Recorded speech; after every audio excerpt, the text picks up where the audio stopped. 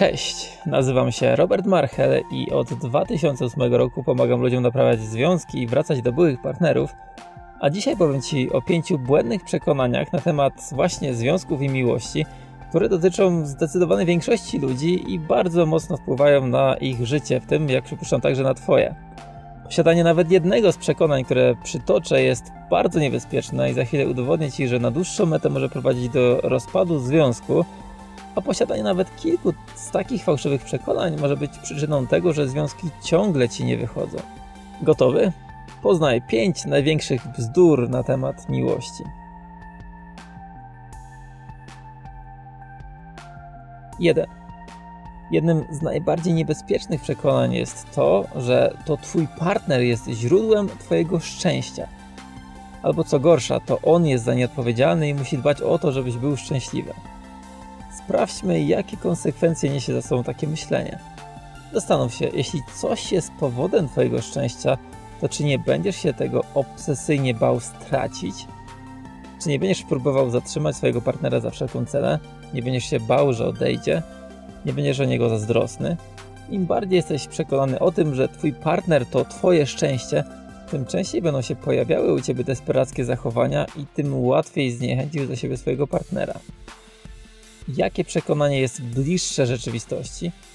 Takie, że w praktyce nie potrzebujesz swojego partnera do tego, żebyś był szczęśliwy. Możesz być szczęśliwy nawet jeśli się rozstaniecie. Co więcej, dopiero kiedy oboje będziecie szczęśliwi sami ze sobą i zniknie ta chęć zatrzymania drugiej osoby za wszelką cenę i mówienia mu, co ma robić i czego ma nie robić, to oboje będziecie prawdziwie wolni i znikną powody do kłótni. Kłamstwo numer dwa. Twój partner ma zobowiązania wobec ciebie i musi ich dotrzymać. No bo przecież przysięgał, że będziecie razem na dobre i na złe. Albo po prostu tak dużo mówił o przyszłości, zrobił nadzieję, a teraz nagle się odsuwa i tak po prostu ma sobie pójść? Pozwól, że zadam ci pytanie. Czy chciałbyś, żeby ktoś był z tobą wbrew własnej woli? Tylko dlatego, że ty tego chcesz albo bo ci obiecał? Czy to naprawdę byłaby miłość? Tak naprawdę musisz liczyć się z tym, że twój partner może odejść od ciebie w każdej chwili i będziesz musiał się z tym pogodzić. Co więcej, im bardziej będziesz go zatrzymywał, tym szybciej będzie od ciebie uciekał. Ale z drugiej strony, tym chętniej zostanie, im mocniej dasz mu do zrozumienia, że nie ma żadnych oczekiwań wobec niego, że jest zupełnie wolny. Nawet jeśli bardzo go kochasz, możesz powiedzieć: Kocham cię najmocniej na świecie, chcę spędzić z tobą resztę życia i założyć z tobą rodzinę. Ale jeśli ty nie chcesz, w porządku. Za nic na świecie nie chciałbym, żebyś był ze mną, jeśli sam tego nie chcesz.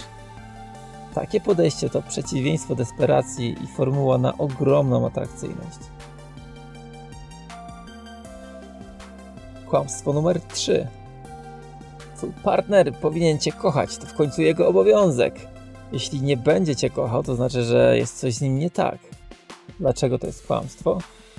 Bo on nie decyduje o tym, czy cię kocha, czy nie. Miłość to nie decyzja, którą możesz podjąć. Nie możesz się na zawołanie zakochać albo odkochać. Od czego w takim razie zależy to, czy twój partner cię kocha? I tutaj mam dla ciebie rewelacyjną wiadomość. Zależy to przede wszystkim od ciebie. Od tego, jak bardzo ty jesteś dla niego atrakcyjny na wielu poziomach. Od tego, czy zachowana jest równowaga uczuć między wami. Czy nie przytłaczasz go pretensjami i zazdrością, albo nie zasypujesz uściskami i wyznaniami miłości, kiedy on jest zdystansowany. Jeśli więc czujesz, że twój partner się zdystansował i nie kocha cię już tak mocno jak kiedyś, to nie możesz mieć do niego o to pretensji, bo to nie jego wina. To właśnie twoje pretensje wszystko psują. To ty powinieneś popracować nad swoją atrakcyjnością, zachowaniem i równowagą uczuć. O tym, jak dokładnie to zrobić, mówiłem na innych moich filmach.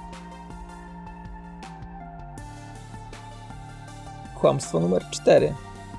To twój partner jest winny. Cokolwiek by to nie było, spowodowanie ostatniej kłótni czy wydanie zbyt wielu pieniędzy. Jeśli myślisz w kategoriach kto jest winny, a kto nie, to przestajesz myśleć konstruktywnie i wtedy właśnie rodzi się niechęć i konflikt. A to nie tylko nic nie daje, ale wyłącznie pogarsza sytuację, bo dodatkowo psuje waszą relację. On zatrzasnął klucze w samochodzie i przez to spóźnicie się na ważne spotkania. Czy szukanie winnego da jakiekolwiek korzyści? Czy uświadamianie mu, jak wielki błąd popełni, sprawi, że nie popełni tego błędu w przyszłości? Być może tak, być może nie, ale na pewno będą na to znacznie większe szanse, jeśli rozmowa będzie w życzliwej i przyjaznej atmosferze. Kiedy tylko zacznie się poszukiwanie winnego i on poczuje się atakowany, jakiekolwiek zrozumienie znika. Włączają się mechanizmy obronne i zaczyna się kłótnia. Ta zasada dotyczy także naprawdę poważnych spraw. Kłamstwo numer 5. Twój związek będzie trwał do końca życia. Niestety, to jest kłamstwo dla większości ludzi i musisz się z tym liczyć. Statystyki pokazują, że rozwodzi się blisko 50% małżeństw, ale zdecydowana większość związków kończy się znacznie wcześniej i do ślubu nigdy nie dochodzi.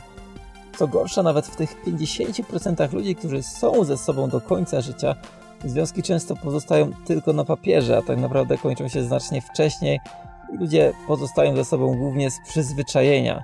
Żyją obok siebie, ale nie ze sobą. Relacje można zatem porównać do kota, którego wspólnie hodujecie. Na początek to mały, słodki kociak, którym oboje jesteście zachwyceni wręcz do szaleństwa. Później kociak dojrzewa i staje się zwykłym kotem. Już nie jesteście nim tak zafascynowani jak na początku, ale nadal przynosi wam mnóstwo radości. A jeśli o niego dbacie, dobrze go karmicie i nie zostawiacie samemu sobie, to będzie żył bardzo długo. Być może nawet dłużej niż wy, albo przynajmniej jedno z was.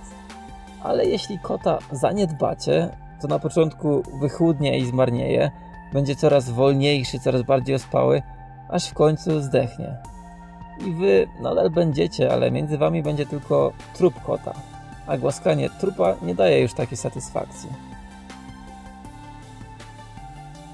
Jeśli udało mi się zmienić chociaż jedno Twoje przekonanie, udostępnij to nagranie na swoim Facebooku albo w dowolnym innym miejscu. Ta wiedza naprawdę jest potrzebna w naszym społeczeństwie możesz tym zrobić komuś dużą przysługę. A jeśli obecnie jesteś w związku, to zapraszam do rozwiązania darmowego testu na stronie jakzdobywać.pl, który pokaże Ci, jaki Twój związek ma szansę na przetrwanie. Po więcej wiedzy na ten temat odsyłam także do mojego kursu Jak budować i naprawiać związek, który również znajdziesz na stronie jakzdobywać.pl. Do następnej niedzieli. Robert Marchel.